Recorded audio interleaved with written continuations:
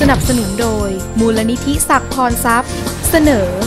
โครงการเสริมการเรียนรู้ทางการศึกษาขั้นพื้นฐาน ข้อสอบกลางภาคเทอมปลาย ระดับชั้นมัธยมศึกษาปีที่ 2 ข้อที่ 5 นะครับ โจทย์บอกว่าามีเสาโทรทัศน์สูง 36 ฟุตนะครับ แล้วก็มีเสาหลักอยู่นะครับ ทีนี้เราก็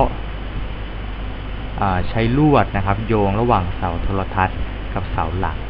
เขาก็ถามว่าไอ้เส้นลวดที่เอาไปโยงเนี่ยมันมีความยาวเท่าไหร่ตอนแรกวาดรูปก่อน สมมุติว่ามีเสาโทรทัศน์เป็นเส้นนี้นะครับ ความสูงก็คือ36ฟุตทีนี้มีเสาหลักอยู่เสาหลัก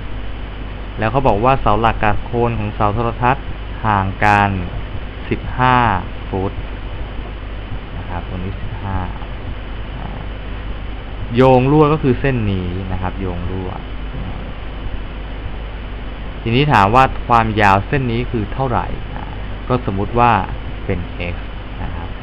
ก็โดยทฤษฎีบทจักรลาสเราก็จะได้ว่าอ่าอันนี้เป็นรูปมุมฉากพอดีนะครับ เพราะฉะนั้นใช้ได้ ก็คือ x ยกกำลังสองมีค่าเท่ากับ 36 ยกกำลังสองบวกกับ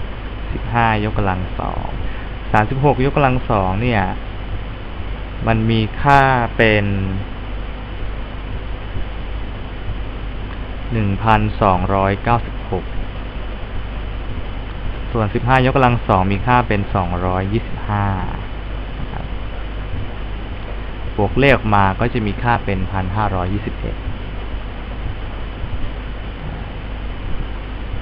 ซึ่ง